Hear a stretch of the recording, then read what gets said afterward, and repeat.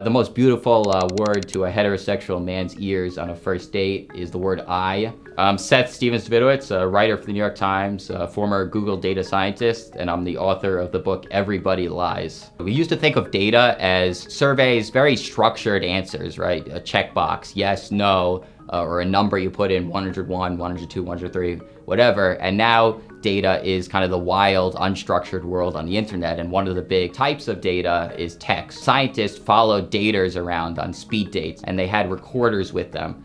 And then at the end of the date, they said whether they wanted to go on a second date.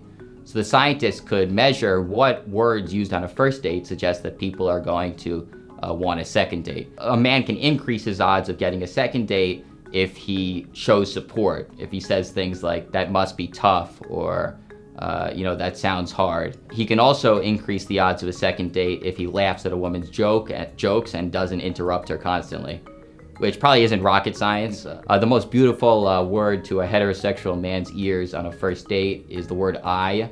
Uh, when a woman talks about herself more, it's actually uh, a sign that she likes him, she feels comfortable opening up. And actually, a woman, I think, frequently think that they should not talk too much about themselves, but that's also wrong in the data. Men like women uh, talking, opening up, uh, telling stories about their own lives. Uh, they're more likely to like the woman and uh, agree to a second date.